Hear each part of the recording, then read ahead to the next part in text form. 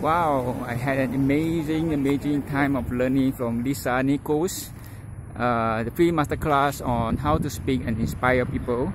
And she shared four powerful steps, which I'm now revising what the steps are. And the four steps. First is to tell a story. The story is something that is true about ourselves, something that we own. And when we tell a story, we are setting up the stage for connection. Because there are so many ways people can reach out to an audience, whether on social media, online, or on the stage offline.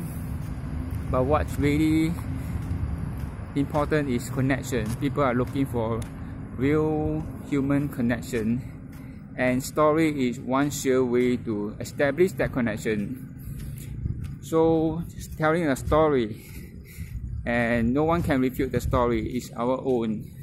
And it help people to remember who you are based on your story. And it's helpful to set the stage in terms of time when it happens and where it happens. So that's number one story. Number two is to okay i'm going to recollect the the, the points that i made number two is to be to slow down. Number two is to slow down to show and not tell. Show and don't tell. So when we slow down, we go into the detail, we may use our body language and hand gesture or gestures to illustrate what happened then, how we felt, and how we went into the valley and how we came out of the valley. So we draw the audience into something that goes beyond intellectual and into the, an experience into our life. That brings us to number three that's authenticity. That we do not need to add anything that is unreal. We are simply sharing what is real what is true what really happened how we really felt. And authenticity is also vulnerability and that's true power. When we are vulnerable it feels like we are weak but that's true power. We often want to play safe, but Lisa Nichols teaches us not to play safe. We take risks.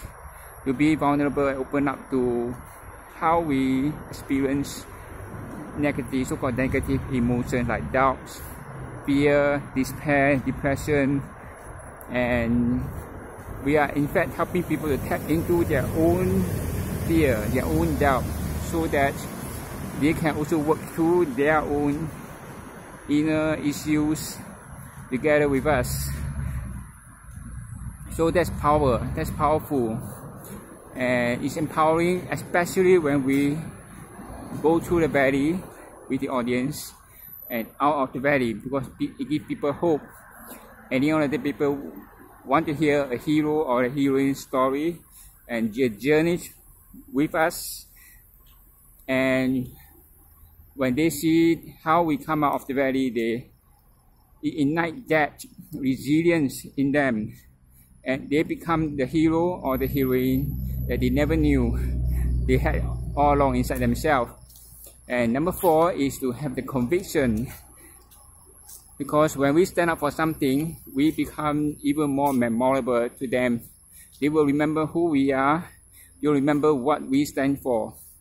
So that key point to have the courage to have the conviction, to share the convictions, regardless of whether we think people may, some people in the audience may disagree with us. That's okay. We have to make peace with that. We have to accept the fact that not everyone will agree with us. And similarly, we may not agree with other people, but we can appreciate the fact that other people can have their conviction and share that with us. And so that's the four powerful tips that I learned from the masterclass. And thank you for listening. Be blessed. See you next time.